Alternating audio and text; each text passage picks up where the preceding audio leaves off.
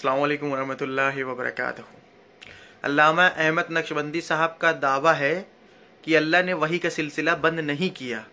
अभी भी अल्लाह सुबहान ताला बात करता है और बताता है और कहता है कि तुम वहाँ जाओ, तुम वहाँ जाओ, तुम वहाँ जाओ। अल्लाह सुबहान ताला अभी भी वही का सिलसिला चालू है। लेकिन हमने सुना था कि नबियों के साथ वही का सिलसिला बंद हो जाता है। और ख्वाब का जो ताबीर बताई गई, वो चालीसवां हिस्सा है। वो अलग बात हो जाती है। नक्शबंदी साहब तो डायरेक्ट कह रहे हैं कि अल्लाह डायरेक्ट बात किया डायरेक्ट बोला। आप खुद पूरी वीडियो देख लो। उसके बाद आप खुद फैसले करो कि ये किस हद तक सही, मैंने पूरा बयान डाला इसीलिए। काटा नहीं, पूरा बयान। तुम्हारी मेरी आरज़ू है अल्लाह, मदीने में मौत दे दे, मदीने में मौत दे दे, मदीने में मौत दे दे। अपन यहाँ बैठ के तड़प रहे सरकार मामू साहब, भांजे साहब, खिबला की नहीं थी होंगी। ये जितने अलिया अल्लाह इधर उधर रहे आराम कर रहे हैं, इनकी आरज़ू नहीं थी। थी। मगर फिर गौर करो, फिर ये लोग आए, ये लोग यहाँ क्यों आराम कर रहे हैं?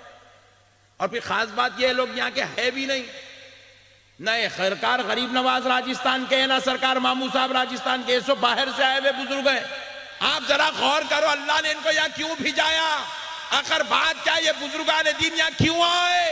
अरे इनकी भी आरज़ू थी कि इनका मरकत मदीने पाक में बने, नजफो करबला में बने, बगदाद मुअल्ला में बने।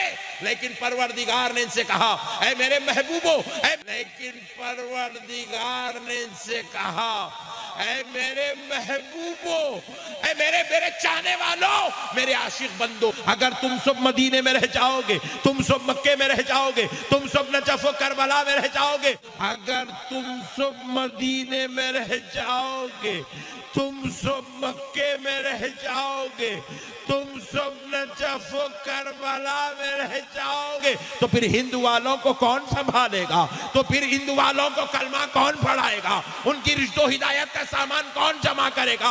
और जब जब मेरे बंदों पर मुसीबत आई तो उनकी फरियादें मुझ तक कौन पहुंचाएगा? तो उनकी फरियादें मुझ तक कौन पहुंचाएगा? मेरे महबूबो जाओ महबूबो जाओ। जाकर तुम अजमेर में बैठो। जाकर तुम अजमेर में बैठो। हज़रत बाजरत हाजी अली बाबा से कहा, तुम जो है मुंबई में बैठो। तवक्कल मस्तान से कहा, तुम बेंगलुरु में बैठो। तवक्कल मस्तान से कहा, तुम बेंगलुरु में बैठो। बाबा शरफुद्दीन से कहा, तुम हैदराबाद में बैठो। हज़रत मामू साहब से कहा, तुम जो है, तुम जो है उदयपुर की वादियों में बैठो। इसलिए बैठो, जब जब मेरे बंदों को मुसीबत आएगी मैं उनको नहीं देखूँगा। तुम्हारे दर पे बुलाता जाऊँगा, तुम्हारा सदखा देता चला जाऊँगा।